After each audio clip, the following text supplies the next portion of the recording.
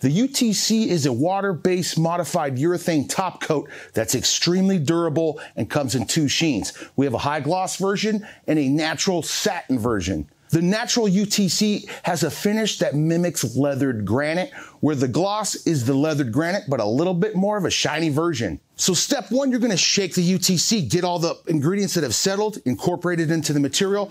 Then we're gonna let it sit as we sand the project. You could use a random orbital sander or you could sand by hand with 220. I'll clean the dust with 91% isopropyl alcohol and then we're ready to start mixing. The roller of choice is a quarter inch microfiber roller. They could be six, they could be nine, they could even be 18 inches wide. We're gonna delint these rollers, so no matter what roller you choose, the nine inch full size or the six inch mini rollers, you need to delint them first. I'm gonna prepare two wet rollers, and for every wet roller that I prep, I'm gonna prep two additional dry rollers. I'm gonna wipe out my paint pan, make sure that that's nice and clean. I had some dust in here from sanding. I'll wipe down this one more time. It's feeling good. It's now time to figure out how much Ultimate Top Coat to mix up. And to do that, you're gonna go width times length and divide that by 144. That's gonna give you your square footage of that project. We're gonna multiply that by 0.275. That tells us exactly how much Ultimate Top Coat to mix up without having any extra waste. We're gonna take the total amount of Ultimate Top Coat we just mixed, let's say it's 10 ounces of Ultimate Top Coat. We're gonna multiply that by 0.16. That tells us exactly how much room temperature water we're gonna add and mix that into the Ultimate Top Coat, which brings the consistency of the product from a thick Elmer's glue down to a latex paint.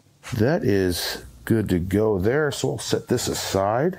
Okay, I'm gonna pour in part B. It's time to mix. Do not mix with a paddle mixer and a drill. I'm just using a flat bottom paint stick.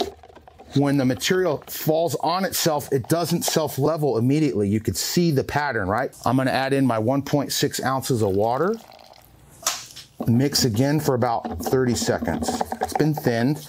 You could see it run off and much easier. The consistency is where I want it. And that formula of 0.16 is really crucial. That gets you the exact amount of water you need for consistent results. And then we're taking our delinted roller, fully saturating it, and we're gonna apply it kind of in a V-shaped pattern so I'm overlapping. It's crucial to have full coverage of the material on your project.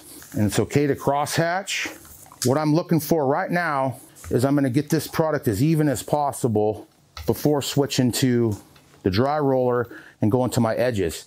So I get it on the surface first, then hits your edges. Because when you hit your edges, you're gonna put a little indention into the roller.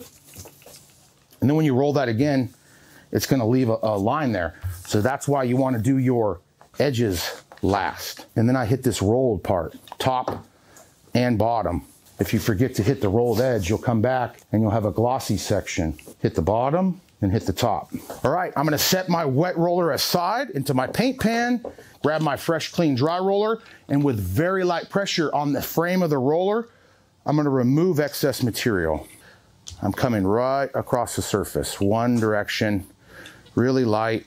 So guys, if you have this finish, if you see the micro bubbles, you may have added a hair too much water. That's okay, do not panic. And I'll just simply go in the same direction again, light pressure, you get counterproductive when you come back and keep dry rolling after the material started to set up. That's okay. Those are gonna self-level and clear up.